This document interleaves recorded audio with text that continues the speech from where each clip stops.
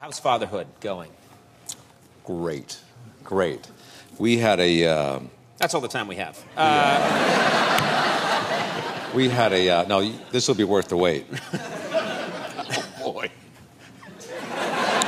We had a uh, birthday party uh, for my son who's five years old. Yes. And um, my parents even flew out for that one. My parents are in their 80s, and um, they just love him so much. And uh, they've been married for 61 years. My parents. 61, 61 years? years, yep. Wow. Thank We you. got married. Yeah. And they still hold hands. They still hold hands. But I think that's to keep from falling over, to be honest with you.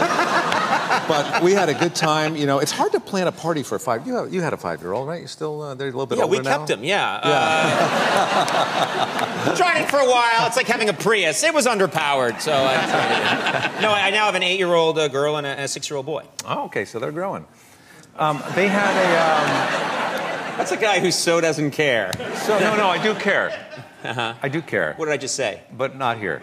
Uh, so anyway, um, so we had the birthday party, but it's hard to plan a party for a five-year-old. I think you both agree with me on that. All right, nobody agrees. but you know, um, you have to plan it around their nap. And uh, Yes, so he lots naps of at two yeah, o'clock. right. Then I had to find out when all his friends at school took their naps. And then uh, I, you know, I had to find out when my parents nap, which is most of the day.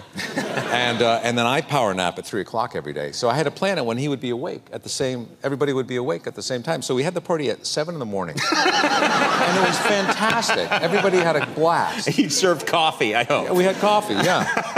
Yeah. You're a foolish But that was man. A good question.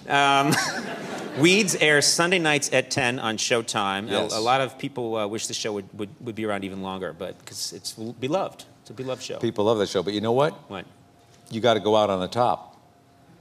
And uh, we missed that opportunity.